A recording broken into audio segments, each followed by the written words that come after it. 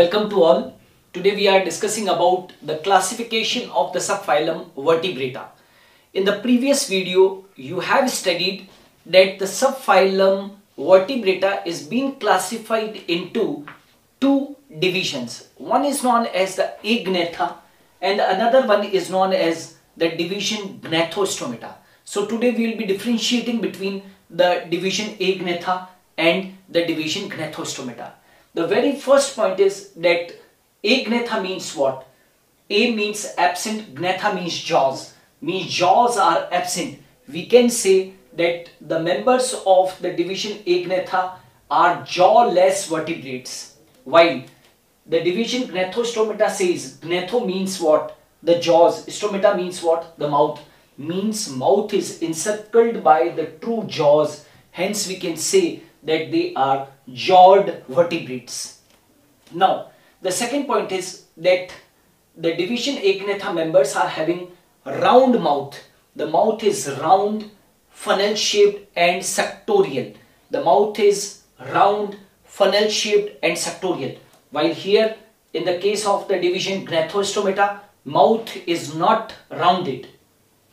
Third point, paired appendages are absent. They are not having any type of paired appendages or we can say it is they are not having the paired fins okay? But here paired appendages are present. That is they may have paired legs or they may have paired fins. Exoskeleton is absent in them. They are not having exoskeleton on them. But the members of the division gnathostomata are having the exoskeleton on them.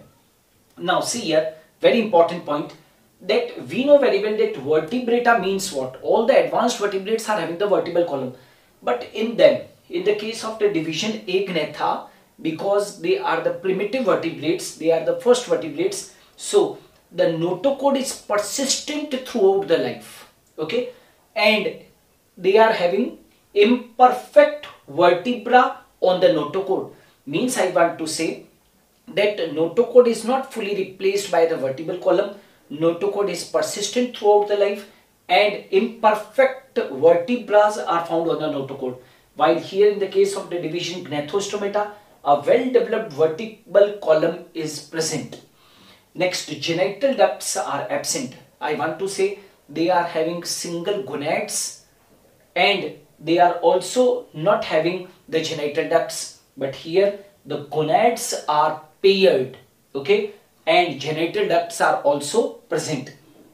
Now if we talk about the internal ear then in internal ear only two semicircular canals are found in the division agnatha only two semicircular canals are found.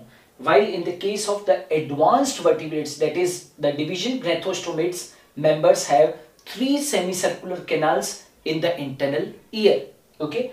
And one median pineal eye is present along with the two lateral eyes on the head.